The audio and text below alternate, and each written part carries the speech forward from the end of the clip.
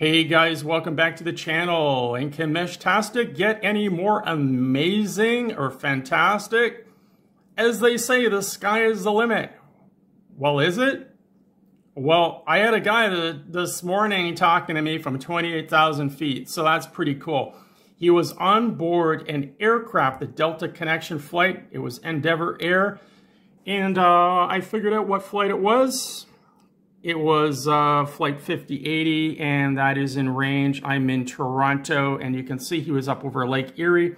At that time, for about 15 minutes, I was in contact with him on board this aircraft, had a very strong signal of minus 50, the RSSI, which is a very good signal. And of course, he's right up uh, above me, uh, 28,000 feet line of sight.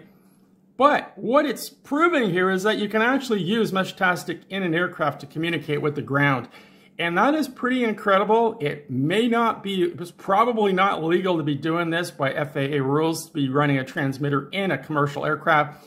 So be careful there, but it does prove that it does work. And uh, there was a guy last night, first of all, on his way to Frankfurt and uh, that would be LH471. That's the Lufthansa. Lufthansa. Lufthansa, yes, the airline, the German airline. We're going to look that one up. But uh, we go down here, and here is the guy, JFK Milwaukee, flyby. Hello! He's trying to raise uh, anybody a connection there. And you can see it starts around 8.33 a.m. and uh, he was constantly transmitting until about 8.47. Approximately about 15 minutes there. So uh, he did not have his GPS on, so I didn't get, um, didn't actually figure out where he was. But the other guy, the the, uh, the German guy, uh, D350, so we got N1, he calls himself Node 1. Come on, focus camera. There we go. And uh, let's just go back and take a look at, okay, there's node 1 and D Delta 350 or D350. Alex Orleans 2, I guess that could possibly be his name. He's the guy that was on the flight to Germany, and node 1 is the guy, he doesn't have his GPS up, but um, node 1 is the guy on the flight from JFK to uh, stopping over in, in Detroit and on his way to Milwaukee. And this is really interesting. The, there he is there, the Delta, Delta 350, the, the German flight. And it's showing he's out over the lake. Now, these flights, when they take off from the airport, and I will show you there is the airport there. If they take off this way, they will loop around and come around and go this way. So we're going to look that up on Flight Radar 24 and see if that flight actually indeed loop around and was he actually there. Um, obviously was, and uh, we're going to take a look at that right now. This is really, really interesting to see people on board aircraft actually transmitting and communicating with Meshtastic.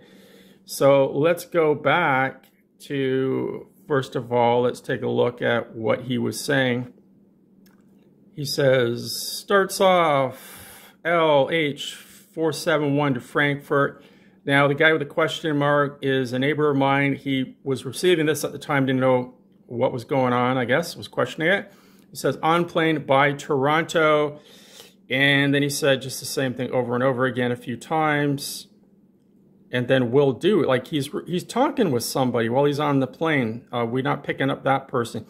And then this morning at 8.30 in the morning, we're receiving this guy from uh, JFK Milwaukee flight, which I've, I'll show you how I figured out what flight he was on. Okay, stand by, guys. Here we go. Okay, so how did I know what flight this guy was on? Well, I did a little bit of detective work. I narrowed things down here. He was communicating with me between 8.33 and 8.47 in the morning Eastern Standard Time. Um, we're about one hour out from JFK by air. So his flight would have had to have taken off about 7.30 in the morning. So I just went through all of these different flights here looking for one that was about 7. That one was a little bit too early. But uh, I did find this one down here. It was 7:25 in the morning. That matched up perfectly, and uh, it was on its way to Detroit. He had a layover in Detroit, and then he went on to Milwaukee. So this is definitely the flight. I'm almost 100% sure. I would love to hear from this guy. If you are watching my channel, you probably uh, be interested to know about the contact I had with you and uh, that I documented it. So let's go over to Flight Radar 24. Now, Flight Radar 24 is in Zulu time, or what we call UTC. And uh, here we are at uh, 1233, which is the same as, well, it's four hours ahead, so 8.33 a.m. And here is the flight from JFK to Detroit, and I am right here in Mississauga, just outside of Toronto. And this is where he would have been right at 8.33. Now, I had communication with him between 8.33 and 8.47. So let's play this, and let's watch it go all the way to 8 or 12.47 UTC. Zulu time. And you can see all of this time he was within range and communicating with my ground station. And the whole time he had a very strong signal. And there's a uh, 40, 41. his last transmission was at 847.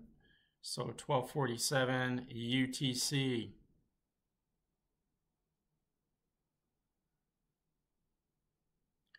and we will check his altitude. Now they're coming into Detroit, so they're coming into land. So, okay, there. Now let's go over and look at his altitude. Okay, he was at 22,000 there because he's coming into land. But if we go back, let's just go back here. 1239, 1231. at that point in time, yeah, 27,900 feet. So there you go. That's how I uh, had contact with that guy. He was between 28,000 and 22,000 while he was communicating. Okay, guys. Okay, guys, so I found him on Flight Aware. This is the DLH 741 flight. Right here is the Toronto Island. This is Lake Ontario. The last time we picked him up was right about here. And sure enough, the flight does take off like I thought, looped around. And uh, right about there is where we picked them up. So now this time here, 8.06 a.m. is actually the time it landed in Frankfurt. Um, they don't really say the time here, but it does say over here. Uh, Hold on a sec. There we go. On the 18th, they departed at 6.34 p.m. So yeah, around, uh, that's typically the time they push back from the gate, 6.34. So yeah, takeoff, loop around, where we last picked them up would have been about 7 p.m. local time. So there you go.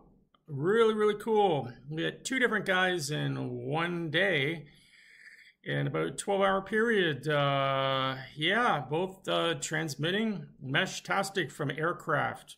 So really cool, guys.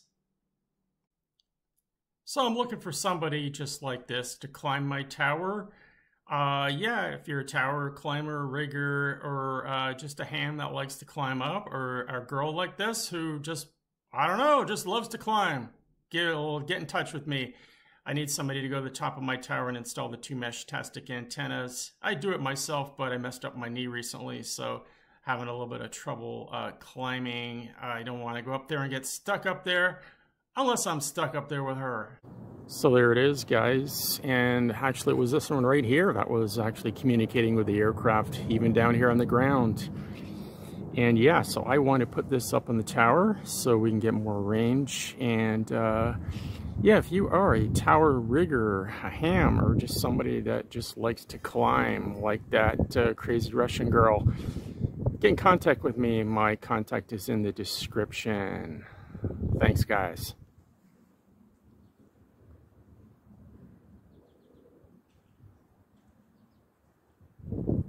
Oh, look at that. 20 hours ago. That's the guy that was on the, the flight to Germany. Really cool. And that would have been right out there. Excellent.